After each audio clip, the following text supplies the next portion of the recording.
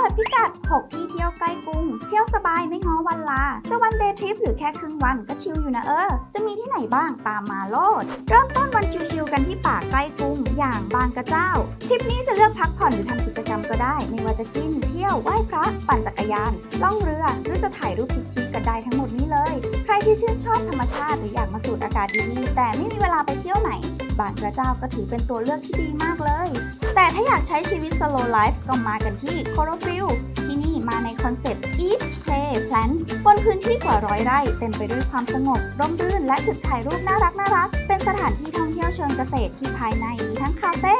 าหารอร่อยๆ และผักผลไม้ปลอดสารให้ทานหรือซื้อกลับบ้านได้ด้วย หรือสายกิจกรรมต้องไม่พลาดที่นี่ ไร่ทองสมบูรณ์ครับ มาเดินเล่นหรือนั่งรถรางสูดอากาศสดชื่นกันที่เขาใหญ่ พร้อมแวะถ่ายรูปกับต้นไม้หัวใจ landmark สุดเก๋ feel เกาหลี ที่นี่มีกิจกรรมสนุกๆมากมายสาย adventure ต้องมาเก็บให้ครบนะ แต่ถ้าคนรักสัตว์อยากเที่ยวพักใจขอให้มาที่นี่ศรีอยุธยาไลอ้อนปาร์คสวนสัตว์เปิดใหม่ที่มีกิจกรรมสนุกๆให้ทำเพียบแถม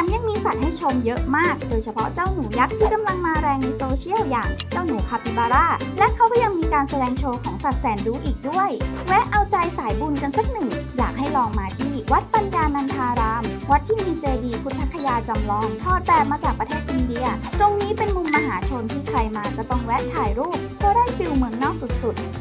ไฮไลท์ที่สำคัญคือ ภาพปริศนาธรรมแบบ 3 มิติหนึ่งเดียวในโลกที่จะแสดงอยู่ด้านล่างของเจดีย์พุทธคยา โดยที่นี่เปิดให้เข้าชมฟรี หากใครมีจิตศรัทธาก็สามารถหยอดตู้ทำบุญกันได้นะคะ ปิดท้ายกันที่เขาช่องลมกรีนโซนใกล้กรุงที่มีลักษณะเป็นขุนเขาขนาดย่อม ตั้งอยู่บริเวณหลังสันเขื่อนขุนด่านปราการชน การเดินทางจะต้องนั่งเรือจากสันเขื่อนเข้าไป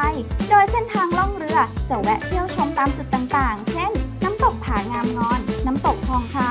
น้ำตกช่องลม ซึ่งเป็นจุดไฮไลท์ แต่ละที่บรรยากาศดีและสวยงามมาก เป็นการใช้วันหยุดได้คุ้มค่าสุดๆ เป็นยังไงบ้างกับ 6 ที่เที่ยวใกล้กรุง ไม่ต้องรอวันหยุดยาวก็เที่ยวได้ แต่ละที่สามารถเป็นอีกหนึ่งจุดหมายในวันเดย์ทริปของเพื่อนๆได้เลยนะ ถ้าชื่นชอบก็อย่าลืมกดแชร์ ติดตามเว็บไซต์หรือแอปพลิเคชัน b u g a b o o t v กันด้วยนะคะ จะได้ไม่พลาด content ดีๆใน b u g a b o o t v ค่ะ